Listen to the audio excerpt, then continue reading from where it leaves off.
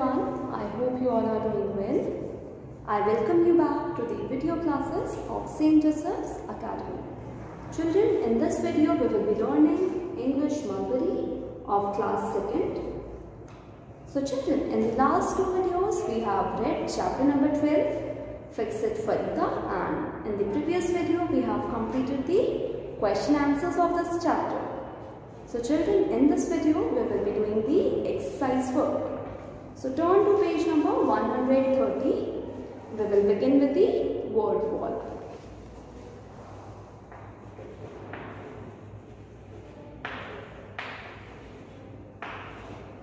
So children, here we have some things that we use.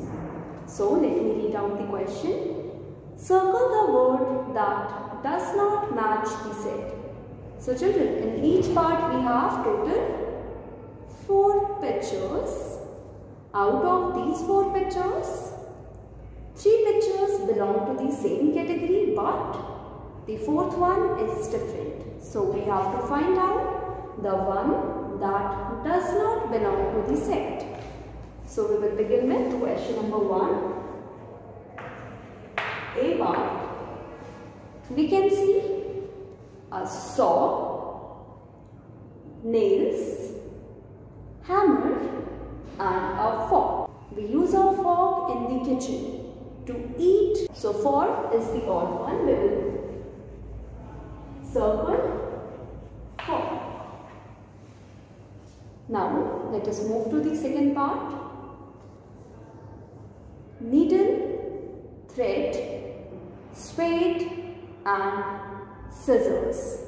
So children, children, needle, thread and scissors are used while sewing. You have you would have seen your mother sewing some clothes or a tailor who sews.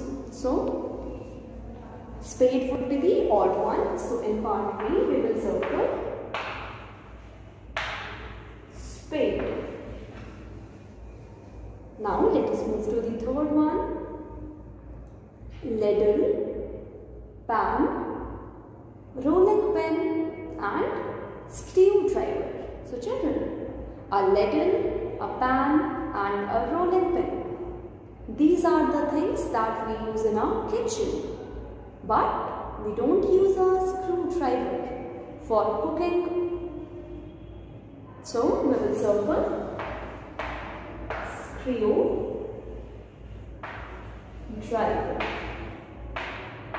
So let us circle these three words. I repeat, we will circle fork in part A, spade in part B and screwdriver in part C. After question number 1, let us move to second question. Match the following pictures of animals to the sounds they make. So children, here we have a list of sounds and we also have some animals. So we have to match the sound with the animal. So the first sound given to us is brays. B-R-A-Y-S. So children, which animal makes this sound? Yes, a donkey brays. So we will write donkey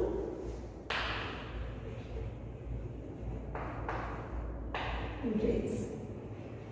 Children, here you will match it in your book. Now, we will come to the second part, trumpets. So, an elephant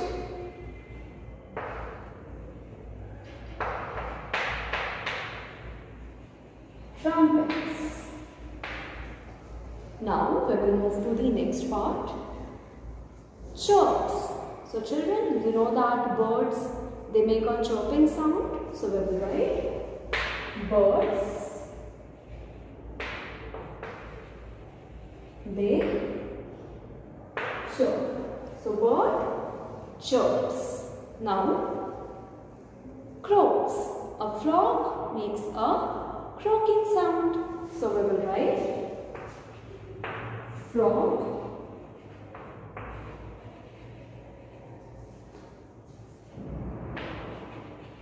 From crows, C R O A K S. Now next is squeaks. So a mouse squeaks. So right. Children a cock crows. So let us look at the answers. Donkey race, elephant trumpets, bird chirps, frog croaks, mouse squeaks and cock crows. So these are the answers for part number 2.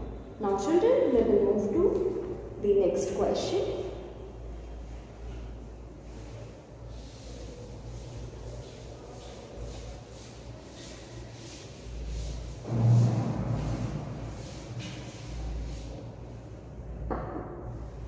So children, after doing this part, we will come to the next page, page number 131. Here, we will start with grammar time.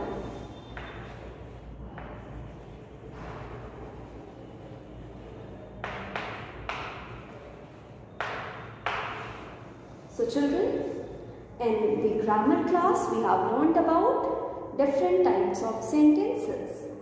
And let us quickly look at the explanation part. So children, what is a sentence? When we join different words and if those words they make a complete sense. So we can say that a group of words that make a complete sense is known as a sentence. For example, if you say, I want a glass of water. So, you have arranged these words in a proper manner and it has a meaning that you need a glass of water. So, this is a sentence. Now, children, at the end of a sentence, we always put a punctuation mark like a question mark, an exclamation mark or a full stop. So remember the rules that we have to begin a sentence with a capital letter and we have to put a punctuation mark at the end of the sentence. For example, if I say, what is your name? Which means that I am asking a question from you. So we will put a question mark at the end. If I say, what a beautiful dress, it means I am expressing my feelings. So I will put an exclamation mark at the end. So children, let us turn to page number 132 and we will do question number 1. So question number 1. Here are some jumbled sentences.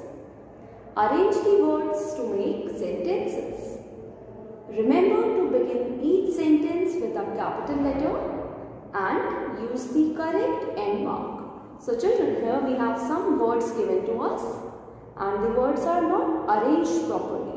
What we have to do is, we have to read the question, then we have to arrange these words to make a sentence. So, A part, the question is, thick fur have polar bears. So how can we make a sentence? Yes, we can write polar bears have thick fur. So write down part A. Remember that we have to begin with the capital letter. So polar bears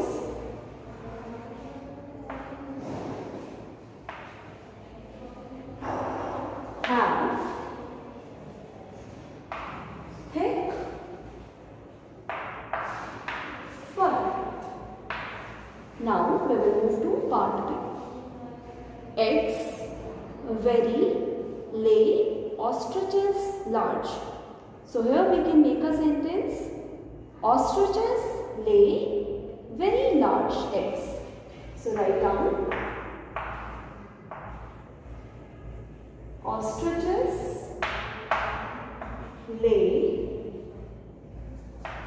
very large eggs and we will put a full stop at the end. Now children, let us move to part C. Tiny are hummingbirds. Hummingbirds, they make a humming sound. So, they are tiny. So, we will write down part C. Hummingbirds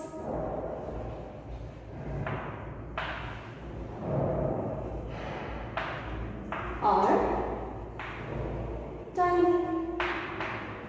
And we put a full stop at the end. Part has centipede this legs a hundred. So how can we arrange these words? Yes, we can write this centipede has a hundred legs. So let us write down the answer.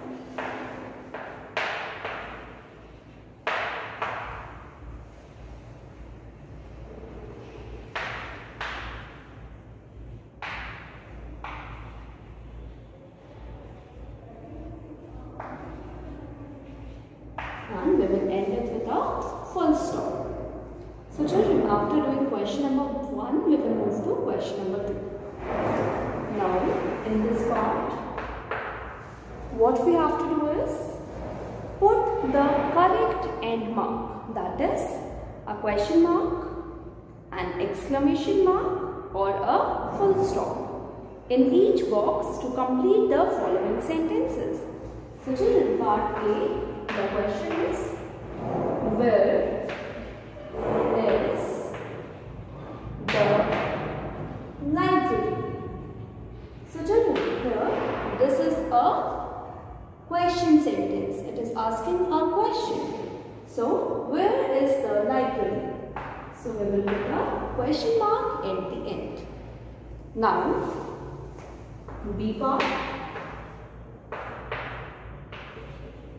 This is an adventure story. So children, this is a gentle statement telling us something. So we will put there, put a full stop. Now, C part. How exciting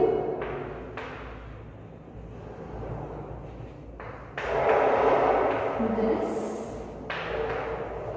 story is. So children, here we are expressing our feelings that this story is exciting. So we are saying how exciting this story is. So we will put an exclamation mark as this is an exclamatory sentence. Let us come to part D. I like fairies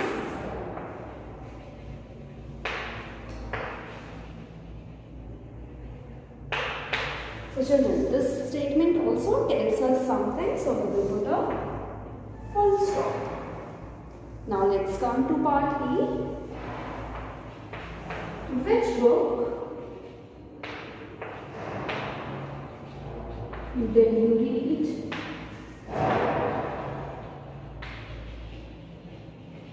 Last night. So children, here we are asking a question. Which book did you read last night?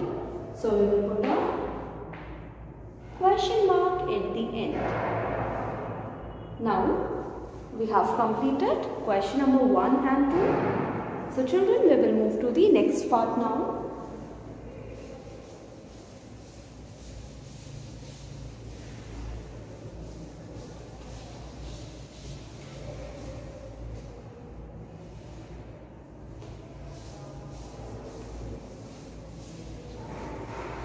So children, here we will be revising some things about tenses.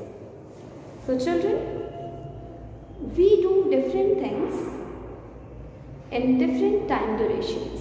For example, we do the things in past, in present and in future tenses. So, Fareeda visits the vet every day. Okay, another example could be if we want to say it in the future tense, we will say Fareeda will visit the vet tomorrow. So children, here we will try to form the sentences in different time durations. So first we will write Fareeda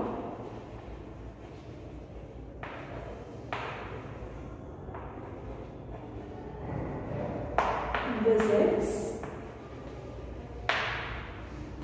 the vet every day.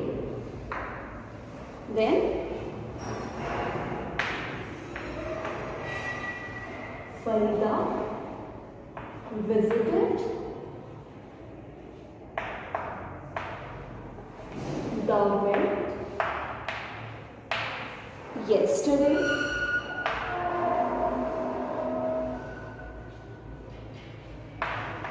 And Fareeda will visit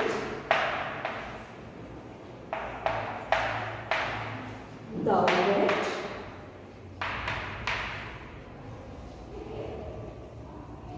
tomorrow.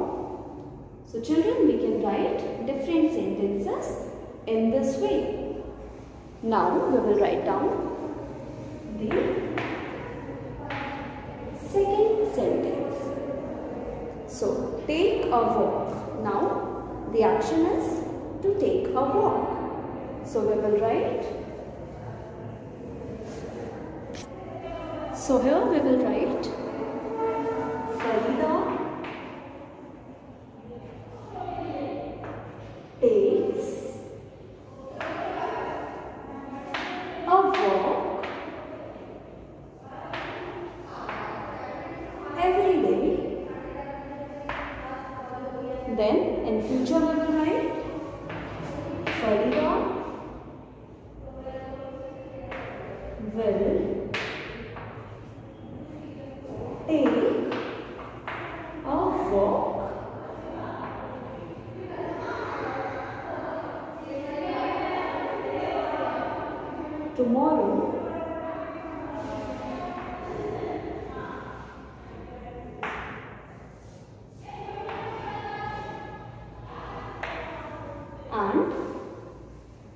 Fareeda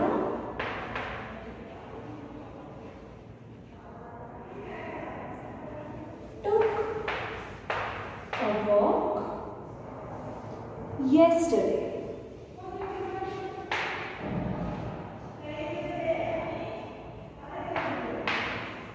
Now children, we will write, ab- write three sentences about paint.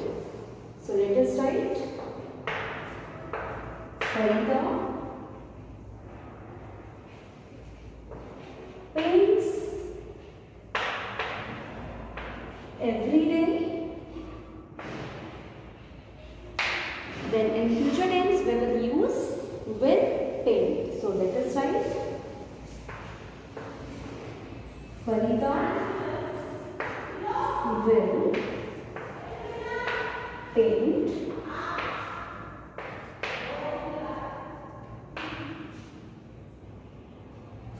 tomorrow. And in the past tense we will write Fareeda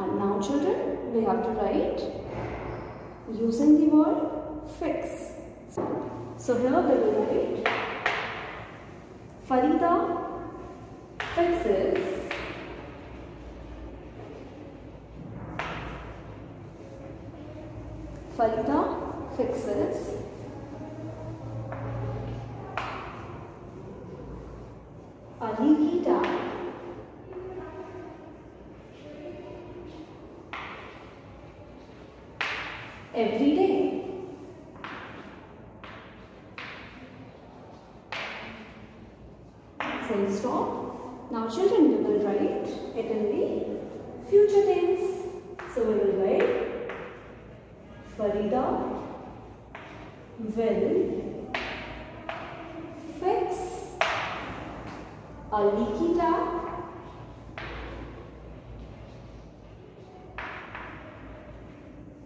tomorrow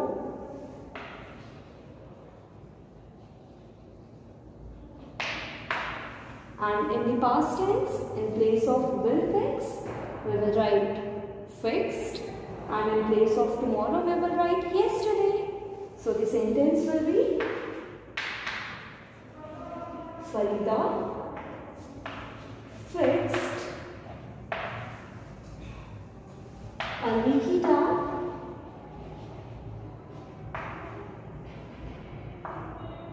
yesterday.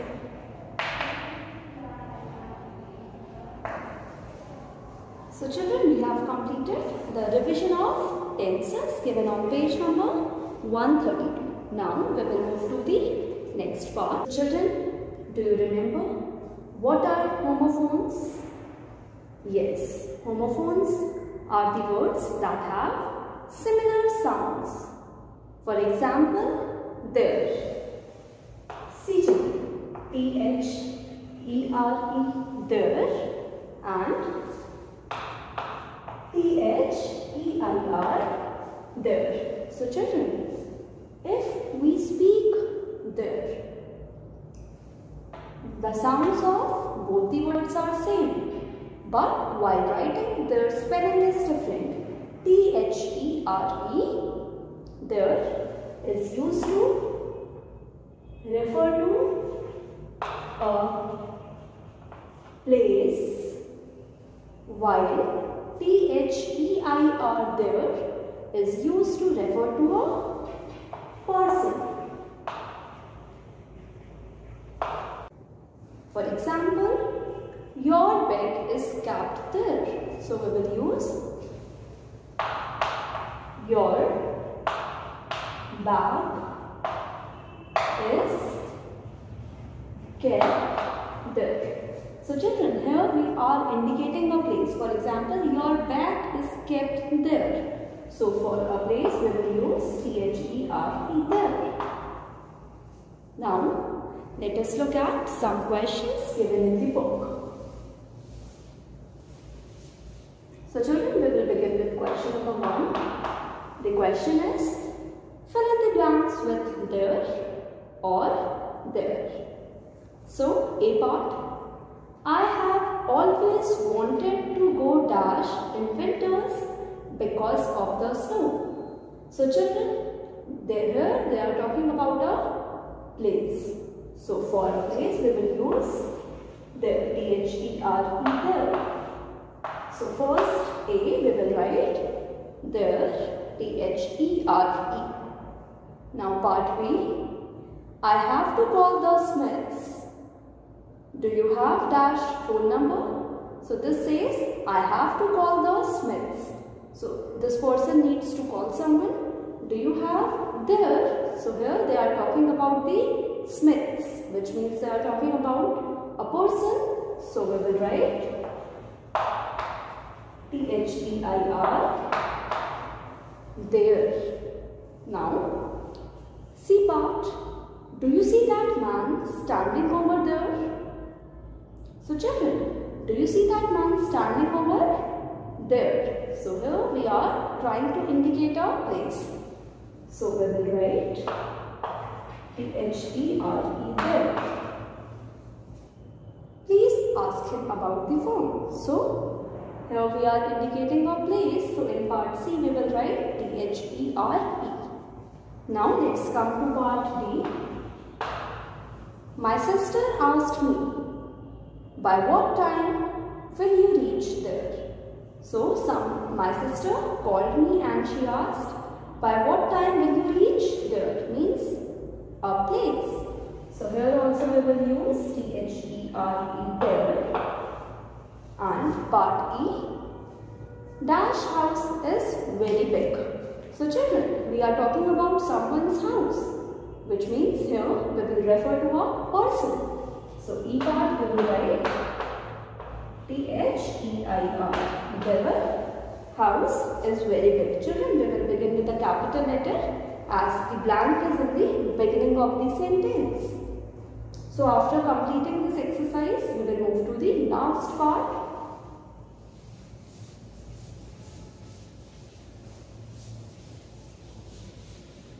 Children, this is right well.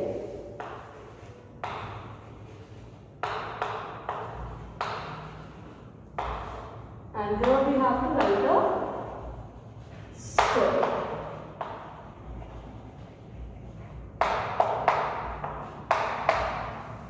So let us look at the question.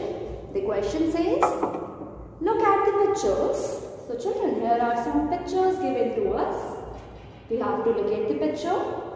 Fill in the blanks on the next page in order to complete the story. And what we have to do, here are some fill-ups given to us. We have to fill the blanks. So first of all, let us read. Let us look at the story. So children see, in the first picture, you can see there is a man standing. And in the second picture, you can see that man, he sleeps under a tree. And then the monkeys come and take away the caps from his back. And in the third picture, this man wakes up. He sees that the monkeys are wearing the cap. So, what does he do? He tries to take the caps from the monkeys but the monkeys did not give him. So in the fourth picture you can see this man throws away his cap and the monkeys also do the same. They also take out the cap and throw it on the ground. Then this clever man he picks up all the caps and he goes away. So we will write once upon a time, there was a cap seller who walked from village to village selling caps. It was summer. The cap seller felt dash. So, as we can see in the second picture, the cap seller is sleeping. So, we will write the cap seller fell asleep. So he slept. In the first blank, we will write asleep. And he decided to dash. So in the second blank, we will write move further. So let me read the complete statement. The cap seller felt asleep and he decided to move further later. So he decides that he will take a rest now and he will move further later. And after some time he will move to another village. A troop of monkeys saw the cap seller. So a troop of monkeys means a group of monkeys saw the cap seller. When he was asleep, they came down and took his caps so we will write, they came down and took all his caps. So the monkeys, and took away the caps of this cap seller. Now children, the cap seller woke up, now he woke up. When he saw his caps were gone, he felt sad. Then he had an idea. He dashed, so we will write, he he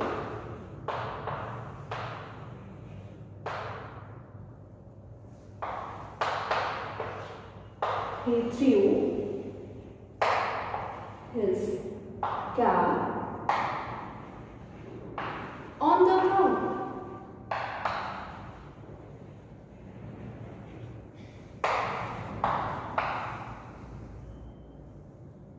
Next line.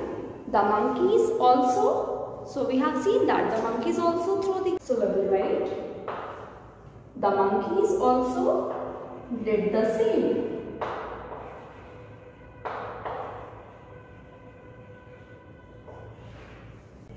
The cap seller was clever. He plucked a mango and threw. Threw means the past tense of throw. So threw it on the ground. So children, the cap seller, then he throws a mango on the ground. The monkeys also did the same. So we will write the monkeys also did the same. The man felt, so earlier the man was sad. Now he felt happy. So we will write down happy in the ninth blank. And he collected all his caps and goes away. So in the last blank, in tenth blank, we will write and he collected all his caps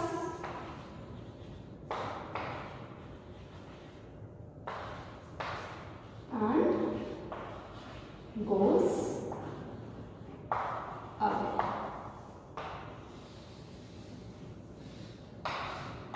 So now children, this is the complete story. Now I will be reading out this story for you. So, match your answers if you have written the answers correctly. Once upon a time, there was a cap seller who walked from village to village selling caps. It was summer. The cap seller felt asleep and he decided to move further later. A troop of monkeys saw the cap seller. When he was asleep, they came down and took all his caps. The cap seller woke up. When he saw his caps were gone, he felt sad. Then he had an idea. On the ground. The monkeys also did the same. The cap seller was clever. He plucked a mango and threw it on the ground. The monkeys also did the same. The man felt happy. And he collected all his caps and goes away. So children, this is the complete story. You have to write down these answers in the blanks given in your book. So children, here we have completed all the exercise work of chapter number